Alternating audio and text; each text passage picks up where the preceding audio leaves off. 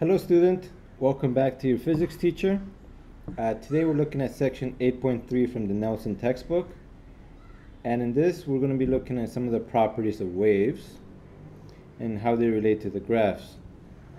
So the first question that we're going to do, they wanted us to copy this figure into our notebook, but you should do it for your notes and here I'm just going to use the screen. Now from this figure, they want us to label the amplitude, the wavelength, and equilibrium point of the waveform. So the amplitude gives you the maximum displacement from equilibrium of the particle. And in this case, we need to first recognize where the equilibrium line is going to be then.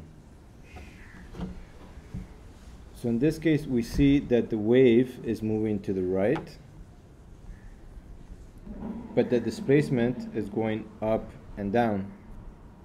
But this is a snapshot, so it's just at one given moment in time.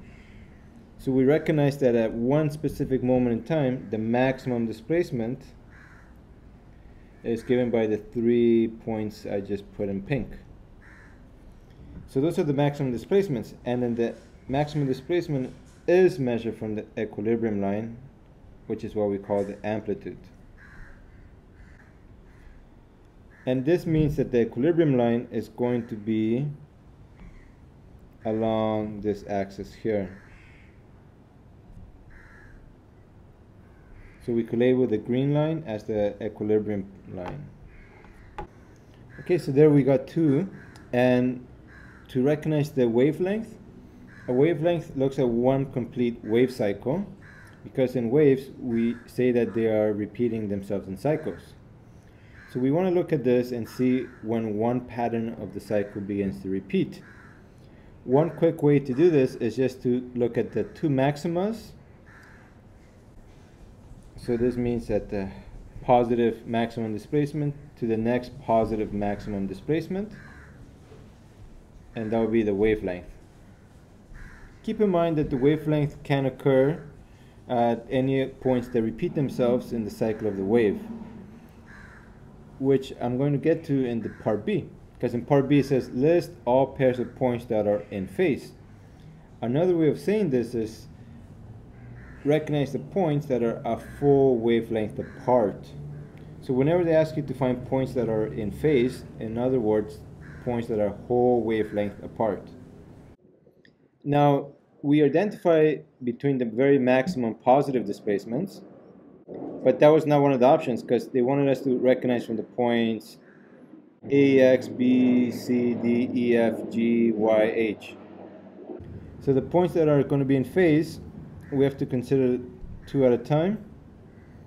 So in this case, A and E are really good candidates. That's a full wavelength. And it appears that B to F is another wavelength. So here we have A and E. And we also have B and F.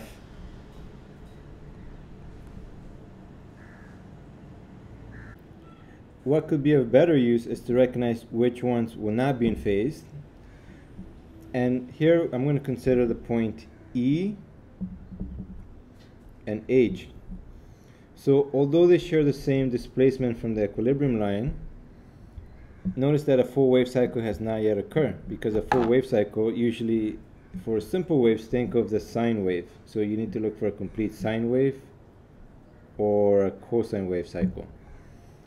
So from E to H, you only have more or less half a wave cycle.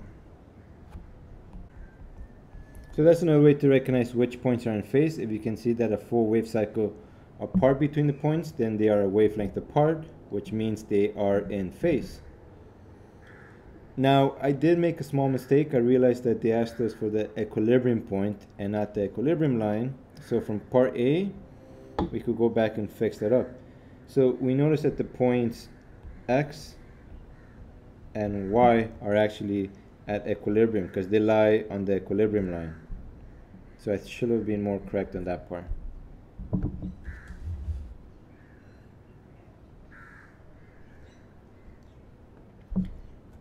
for question two, they want us to contrast wavelength and amplitude for longitudinal waves and transverse waves. Okay, so first here we have the longitudinal wave and a transverse wave. And we want to first identify the wavelength and the amplitude. So what exactly do they give us for their information? Well, if we're looking at first transverse waves, those are, are more easier to look at. We're going to have the vertical displacement, which is y. And since they're asking for wavelength, this has to be a function of x. So not as a function of time, function of x. And the wavelength is just a full wave cycle, so we call this the wavelength. So all a wavelength is is a full wave cycle. So in other words, how much distance it takes in the medium itself for the cycles to begin to repeat themselves. So in this case, the wavelength tells you the distance along the medium that it takes for one cycle to occupy at an instant in time. And if we're looking at the transverse wave, so that's the wavelength, and the amplitude just gives you the maximum displacement from the equilibrium line at a single moment in time in this case. So here the amplitude just gives you the maximum displacement from equilibrium. But longitudinal is a bit different because remember for longitudinal we have areas of compression and rarefaction and we can also look at instead of the number of particles we look at the pressure. So in this case the amplitude just gives you the highest pressure. And the wavelength once again gives you the full wave cycle distance that it takes up at a given moment in time. So instead of the looking at displacement we looked at pressure. So that's the main difference between the two. So in this case, the amplitude gives you the maximum pressure difference. And then the wavelength just gives you the distance that it takes up for one complete cycle in the medium itself.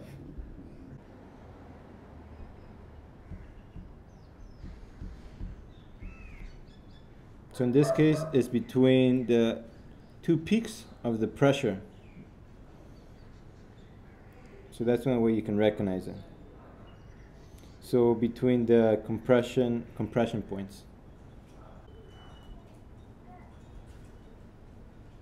Question three, in your own words, distinguish between wave speed and frequency so here recall that we have a formula that actually connects these two together. So wave speed is the frequency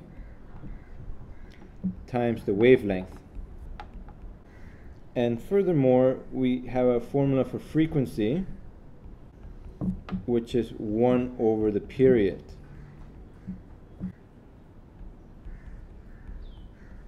Okay, so see, we, we can see how they are really connected they are in the same formula, but that's not really that helpful, right?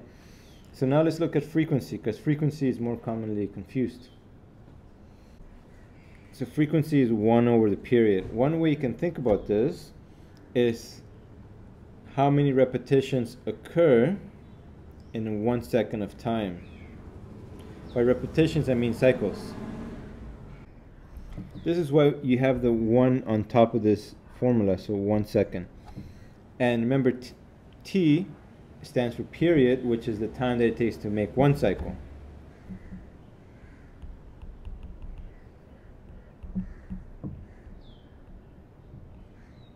So if you really think about this together now, in one second, how many cycles occur?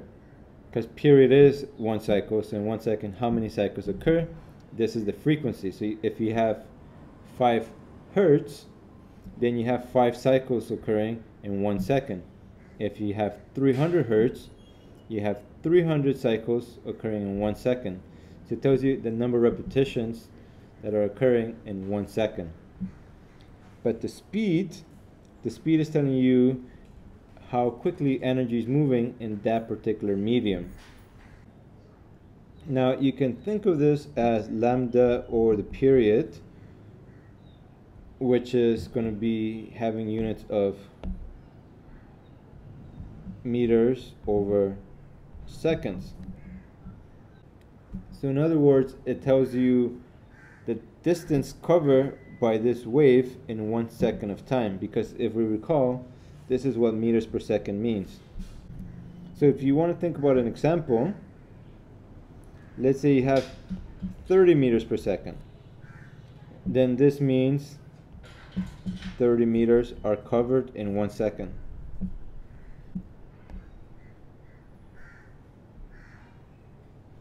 But if we think about frequency, and let's say we have 30 hertz, then this means that there are 30 wave cycles in one second. Right, because the units of hertz is cycles per second. So that, that's how these two can be compared between uh, the two values. So let's look at the next question now. Make a sketch that shows two identical transverse waveforms, except one waveform is phase shifted one half a wavelength from the other. So first let's draw a transverse wave. And we're going to put as a function of x because uh, the phase shift is telling you about the distance values in this case. Or it could be time but let's just deal with distance. It's easier. And as you might have noticed by now these waves just take on the sinusoidal form so a sine wave. And we said that if it's shifted one half a wavelength and this is a full wavelength so a half a wavelength you move it half as much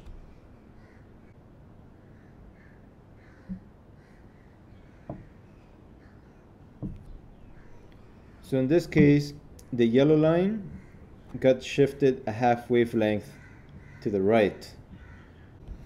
And it could be to the right or to the left so it doesn't make much of a difference because they didn't specify right? But the point is that the cycle now it got shifted half a wavelength. You could think about transformations to make it a little bit easier for yourself if you're taking math. And this is the yellow line right? The sine wave starts at zero at the origin and if we're going to shift this to to the right what would the graph look like? The equation? Well the amplitude stays the same. Kx remains the same. So the frequency stays the same. But since we're shifting to the right we put a minus think back to transformations and usually it's given this Greek letter. And technically we did half a wavelength so we can simplify this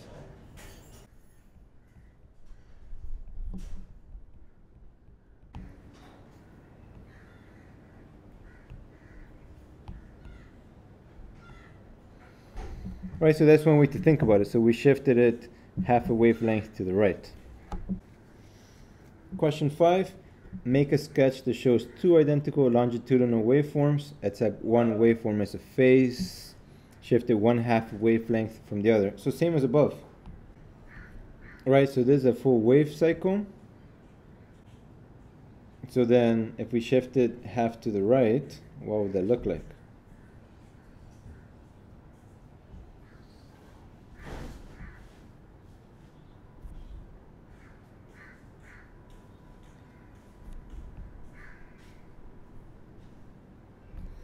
it's really hard to see, but one way to think about it is that compressions where they occur in the original are now occurring where the rarefactions are in the second. Wait, does that make sense? Yeah, yeah, so the compression area in the original is now the rarefaction area in the second and the rarefaction in the original is now the compression in the second. Okay, that makes more sense. Oh, that was it. Okay, I'll see you in the next video. I hope this was helpful. Uh, maybe I didn't explain something well enough. Just put a comment and I'll answer the questions.